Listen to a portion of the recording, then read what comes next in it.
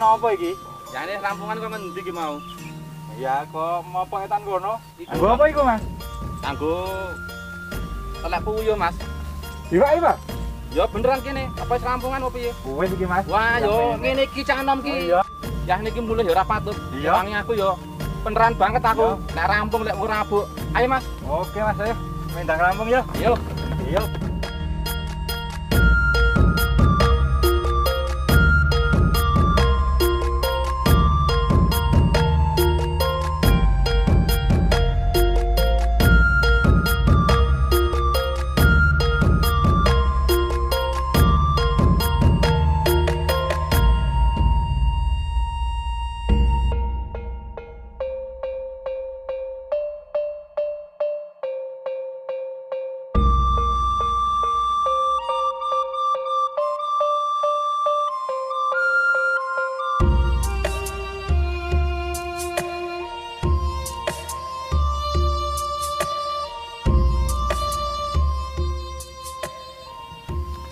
Ricolto di Indonesia adalah eh, bagian dari Ricolto Internasional.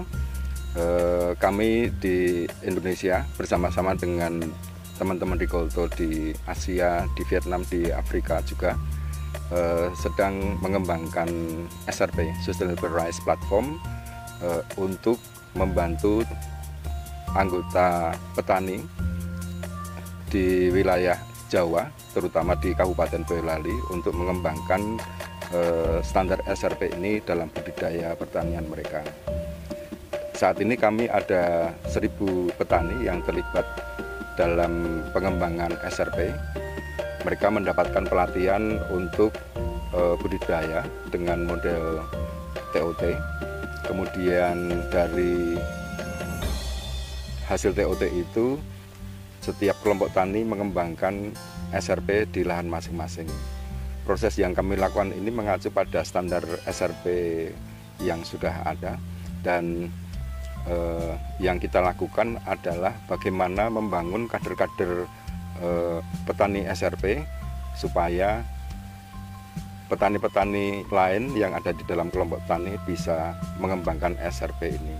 Saat ini yang kami lakukan selain di dalam budidaya, kami juga mengembangkan adanya eh, internal control system untuk melihat perkembangan dari nilai yang didapatkan setiap petani untuk bisa mencapai angka yang memenuhi standar dalam SRP sekitar 90 eh, nilainya.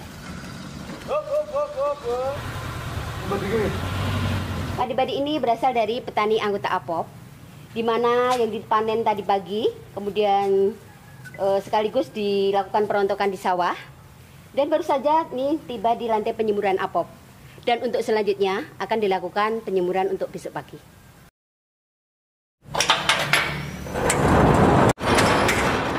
Proses penjemuran kita menggunakan sinar matahari langsung dengan ketebalan 2-4 cm. Dan setiap 30 menit kita balik. Eh, Gabah dinyatakan kering setelah kadar airnya mencapai 12-14 persen. Eh, di sini kita lihat di belakang kita ada processing apop, ada penggilingan apop. Dan setelah gabah yang kering, kita masukkan ke penggilingan. Dan sebelum digiling, tentunya kita timbang dulu. Setelah ditimbang, terlebih dulu kita masuk ke penggilingan pecah kulit. Di penggilingan pecah kulit ini, di mana nanti akan memisahkan eh, kulit gabah dengan beras. Di mana yang sering kita sebut beras PK atau beras pecah kulit. Setelah kita memperoleh beras pecah kulit, kemudian kita masuk ke mesin sosok. Di mana mesin sosok ini nanti yang akan eh, menghasilkan beras putih. Setelah beras putih, kita masuk ke proses blower di mana blower ini yang akan berfungsi untuk membuang kulit ari, debu, partikel-partikel lain seperti ketepu. Setelah blower, di sini beras kita masukkan ke proses grading. Di mana proses grading di sini akan memisahkan antara beras kepala, beras patah, dan beras menir.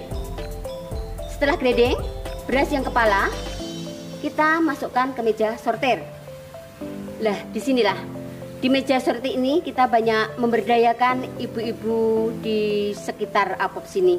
Beras yang sudah kita sortir, kemudian siap kita packing. Di mana packing kita akan kita packing 25 kg, 5 kg, dan 1 kg.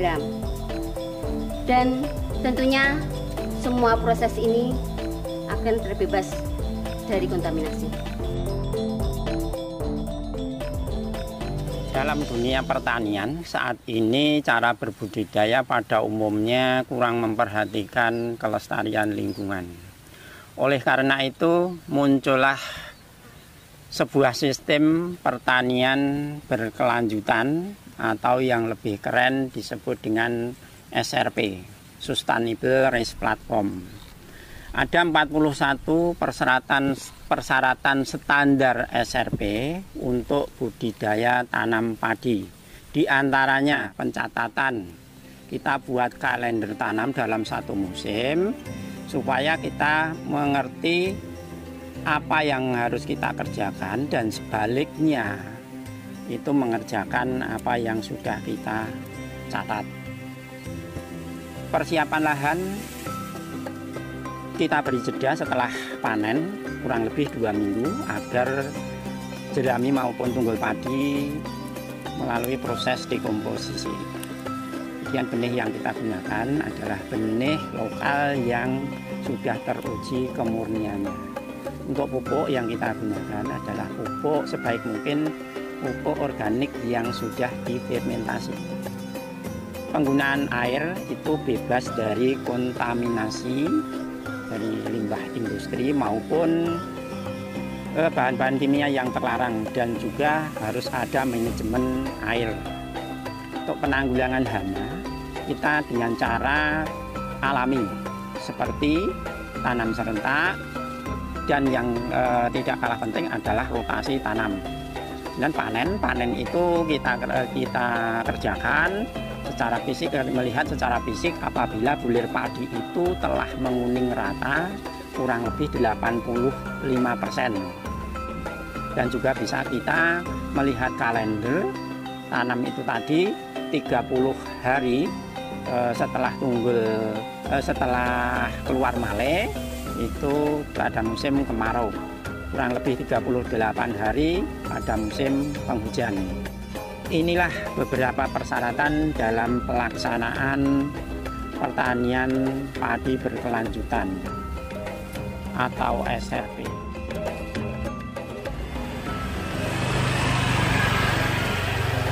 Nama saya Vinolia Arishanti, umur saya 21 tahun. Saya merupakan mahasiswa Fakultas Pertanian semester 7 di Universitas Swasta di Surakarta. Saya sebagai pemuda sendiri sangat bersemangat untuk mencoba hal baru. Hal ini mendorong saya untuk ikut pelatihan pemasaran untuk pemuda yang dilakukan oleh Aliansi Petani Padi Organik di Boyolali. Di sana saya mendapatkan berbagai hal ilmu yang sangat luar biasa. Salah satunya saya bisa mengetahui bagaimana strategi-strategi pemasaran, bagaimana cara memasarkan produk, dan bagaimana cara menghadapi konsumen sendiri. Dari situ, saya setelah pulang melakukan pelatihan tersebut, saya berpikir untuk tertarik untuk melakukan pemasaran hasil pertanian. Eh, di situ saya mencoba mencoba untuk menjualnya secara online atau dengan media sosial. Uh, untuk saya sendiri tertarik karena sebenarnya pertanian itu banyak peluangnya dan banyak tantangannya. Salah satu saya untuk mendorong itu yaitu untuk meningkatkan pendapatan petani